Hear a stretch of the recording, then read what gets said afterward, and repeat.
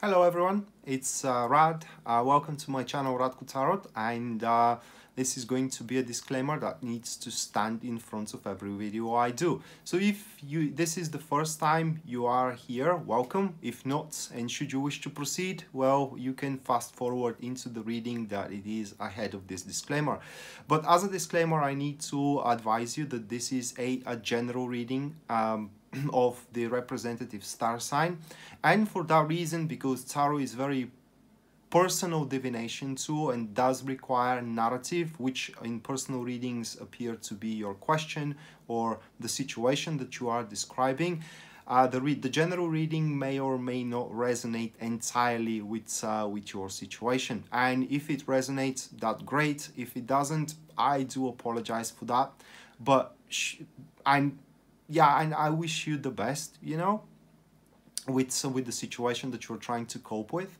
But um, if you wish to proceed with the um, personal readings or uh, you wish to follow me on Facebook or on YouTube, you know, all, of that, or visit my website, all of that is going to be written in the description box down below. And uh, thank you for watching in advance. And uh, now lay back and uh, enjoy the video. All right, so this is going to be a um, Cancer Sun, Cancer Moon, and as well Cancer Rising weekly tarot reading November 24th to uh, December 1st, 2019. And uh, bear with me just a, a second, guys. Actually, November 25th, excuse me, to uh, December 1st. And uh, bear with me a, second, guys, to shuffle the tarot cards and we are to jump right into it. Oops. Alright, so the first card which stands for the topic of your week, Cancer, we do have the Nine of Wands, followed by the second one which represents the challenges that you will have to overcome throughout the week. We have the Two of Pentacles, third card which represents the uh, positive aspects of the week for you, that will be the, uh, the Star card, and then the last one here is going to be the guidance that uh, Tarot is offering to you. We have the Death card. All right, so uh, it looks like that's uh, with the Nine of Wands. Let me check on what is a catalyzed by. Oh, okay, so we do have the Nine of Pentacles. These are in an active neutrals, and it looks like that you are on the final line or on a final straw to achieve something significant. I mean, throughout this week. And um, uh, this week is going to be up of most importance for you to be as patient as patient as you can and to arm yourself with a determination and again excuse me and again patience because at the end of the line there is a uh, how can i say it um well, I cannot say that it's rapidly approaching storm, but I would say that there could be uh, that mistakes could be made. Okay, and if you are not careful enough, you actually can charge into something you don't want to.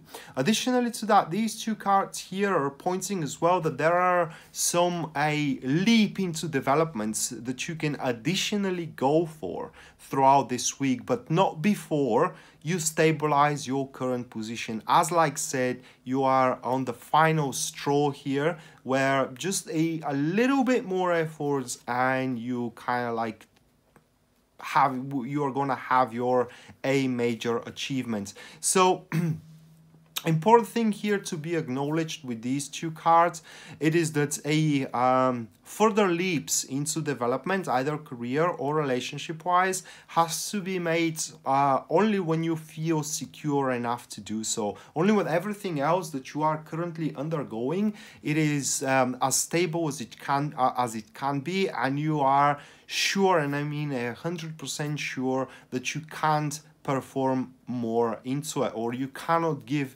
anything more uh, into it. Apart from that these peripheral activities of leap of development they look very very well with the nine of pentacles. They really point to um, potency of increasing your monetary uh, success, a potency into flirting, you uh, you say uh, as well into those kind of like a carefree uh, interactions where really sparks could ignite in between a two people. So let's see uh, what is going to be the challenge then, and that will be the two of pentacles accompanied with the eight of uh, cups. So we do have a uh, passive friends, and uh, uh, these uh, well I will start from the previous cards. As we said that you are on a final straw and you do additionally to that have a opportunities to leap into additional developments, well, obviously you are to have many things on your platter.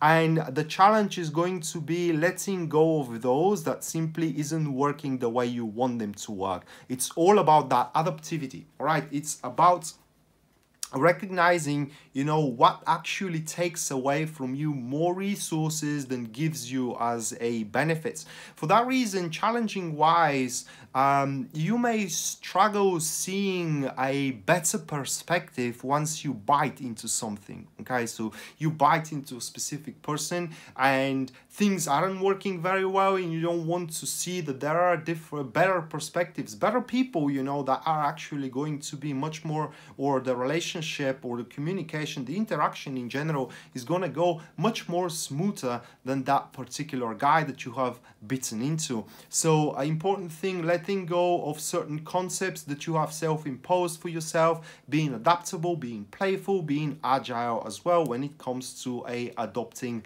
goals okay? But one thing you need to know here is that regardless how things are coming around there will be always something better waiting for you. I mean from those leaps into development. But as you go with them um, always your focus needs to be the substantial achievement that you are just on that much to get okay? Just on that much so we go to the next one here which stands for the uh, positive aspects of the week for you cancer.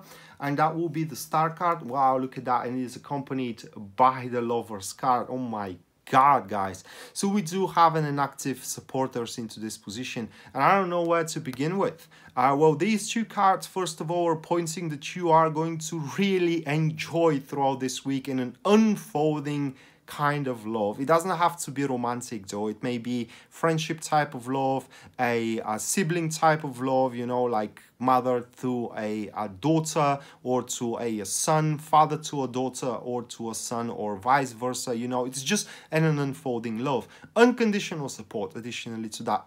but uh, on a personal note, these two cards are pointing that if you do have the patience, many worries that uh, you currently have, okay, are to prove themselves just the trifles and they are going to just simply disappear. All right, they, they, will, they will no longer be any kind of relevant to your future developments, not to mention with those additional leap leap of a uh, improvements that you can go for. And uh, also you are to find out that there is a another way how you can deal with all that with this a, a major achievement all right there is a, a better way how you can deal with it.